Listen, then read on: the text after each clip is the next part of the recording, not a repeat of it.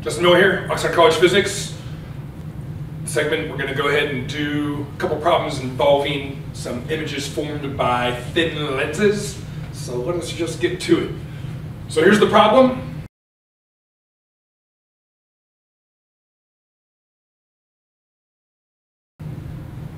We've got a converging lens that has a focal length of 30 centimeters. We want to produce a proper ray diagram and determine the image distance, the orientation, and the lateral magnification along with the image type. So we are going to look at two different cases in this particular um, problem. We're going to start off with an object distance of 50 centimeters, and then we're going to change the object distance to 10 centimeters and see what we've got going on. So let us start off with the 50 centimeter distance here and draw out some things here. Try to draw this nicely, but let's see how that works out. We'll take ourselves a nice little plane here for the principal axis. Go ahead and take this to be our lens. We've got a focal length of 30 centimeters. So I'm going to scale this out. Let's just do 30. Why not? So 30 centimeters. On this side too centimeters. And then we're going to go ahead and put our object distance of 50 centimeters, which is going to be here. So extend this principal axis a little bit.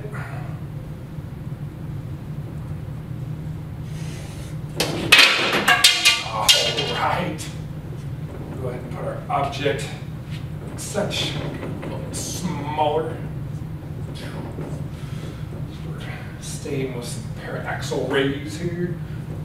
Focal point, focal point, lens. This is said to be a converging lens, so let's just go ahead and get our ray diagram going on here. We'll try this one. So first ray travels parallel to the principal axis and refracts such that it is aligned with or goes through a focal point. Again, this being a converging lens means that parallel light rays with respect to the principal axis will converge towards the principal axis. So we've got this first ray here, coming from the top, traveling along, parallel to the principal axis. Ray comes here, strikes this uh, lens, excuse me, strikes the lens, yes, and then carries on traveling parallel to the principal axis. I have to extend this, so I'm just going to do it now.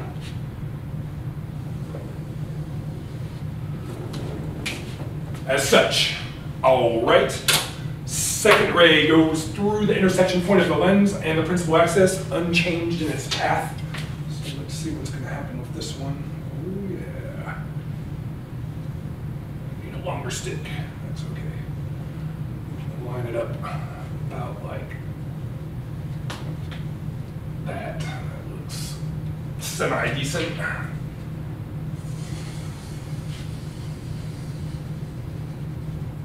Proceeds. Extend this one.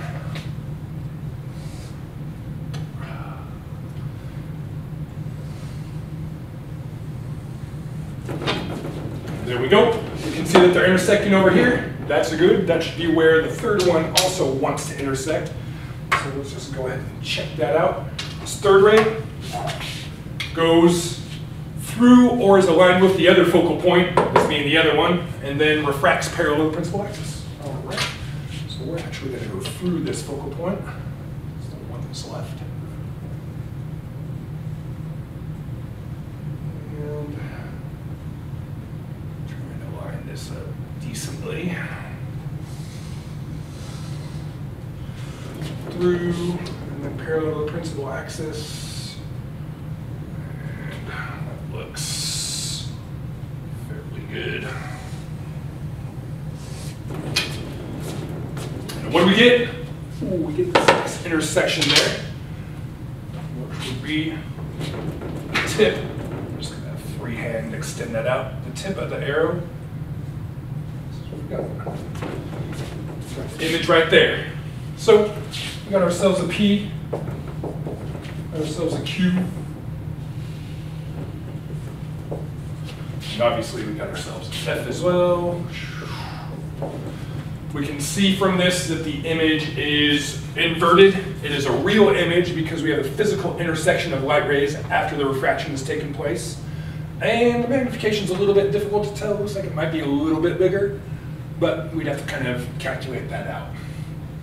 Measure it, but it's not super significant this part here. Anyways, let's go ahead and calculate this stuff out now. So make sure the math matches the picture here. We've got 1 over p plus 1 over q is equal to 1 over f, which gives us that q is equal to the quantity of 1 over f minus 1 over p to the negative 1, giving us that q is equal to 1 over 30 centimeters minus 1 over 50 centimeters to the negative 1 gives us 75.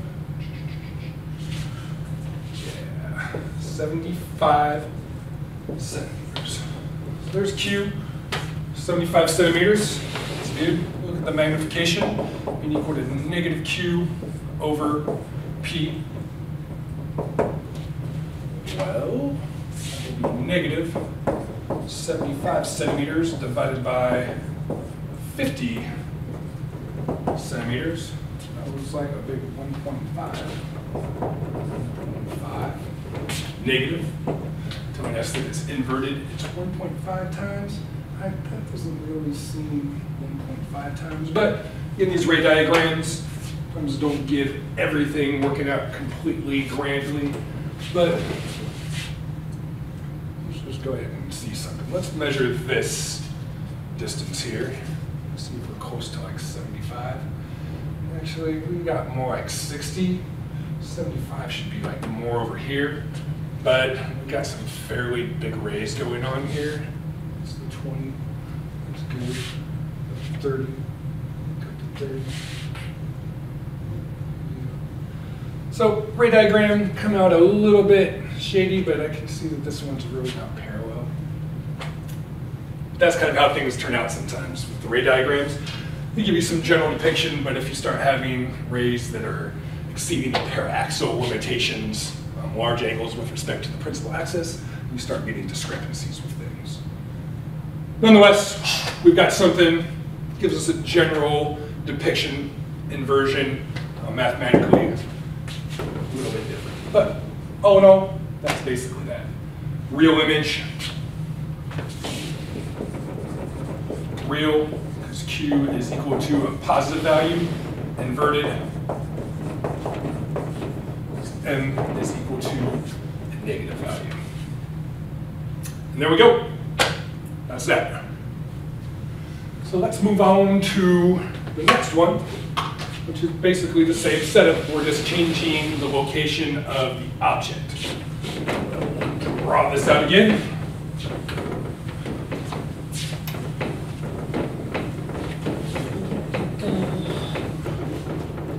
Now we're going to say that P is equal to 10 centimeters.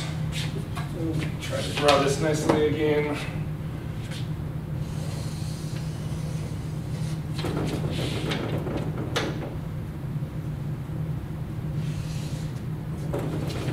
Take focal lengths again to be 30.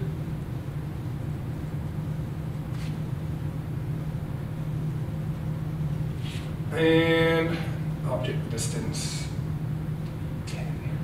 Object distance there. Ourselves F.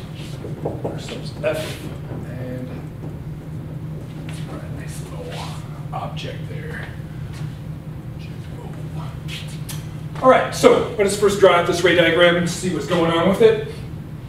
Now we are inside the focal point. Things are going to change a little bit. Let's check this out.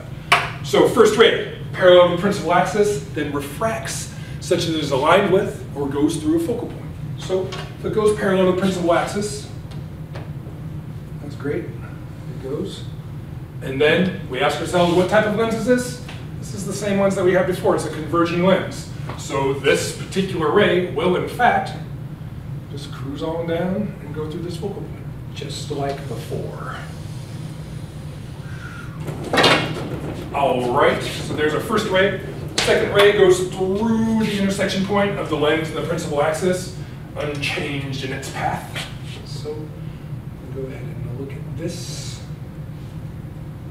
This ray's gonna go out like that. What do we already see on this side? These two rays are divergent from one another as they continue traveling onward. They're never gonna intersect, which means that we're gonna have to trace back the paths until we have a location of intersection, which means that we're gonna have a virtual image, which means that the image is gonna be on the front side. Nonetheless, let us just go ahead and draw in this third ray. Third ray goes through is aligned with the other focal point and then refracts parallel to the principal axis. We've already used this focal point, so now we're using this one. It's not going through this one because we want it to interact with the lens, so this is where it is aligned with comes into play. So we line it up with this focal point here. That's the path that this ray takes. It's aligned with that. And then it goes ahead and refracts parallel to the principal axis, which say, looks like that. So these three rays all divergent from one another. Now we got to trace them back. So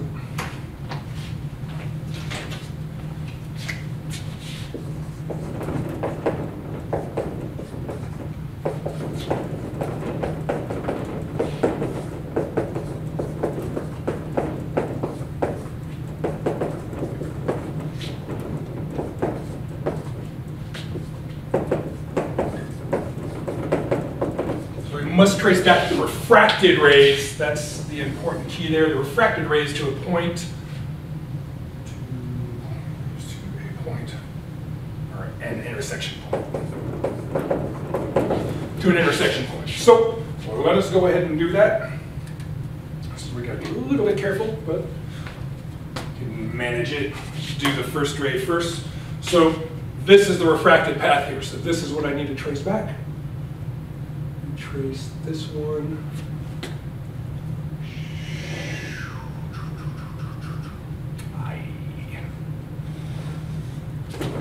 Back like that. Next one.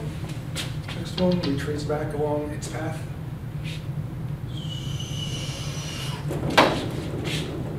And the last one, this green one, we trace back along its path.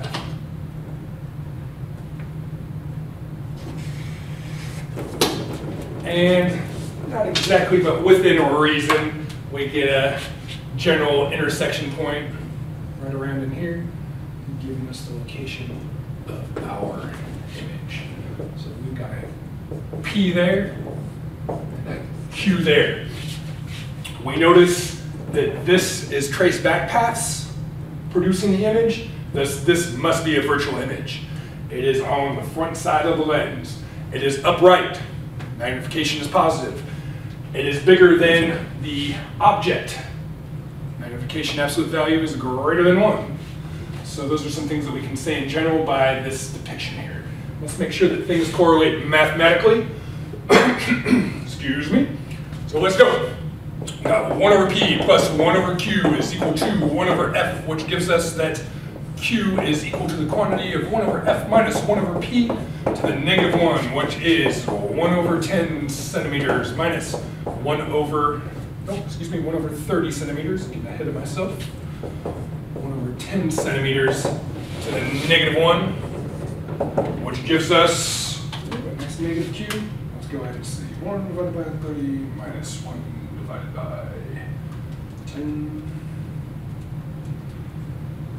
Negative 15. Negative 15 centimeters. Well, if we said that that was 10, adding on about half of that distance, that looks about right, within reason. So we got ourselves something that matches up pretty well. And then magnification, m again is equal to negative q over p, which is negative, negative 15 divided by 10, which is positive 1.5. Got a virtual image. Since Q is equal to a negative value and upright, since M is equal to positive value. There we go. We get things that match up.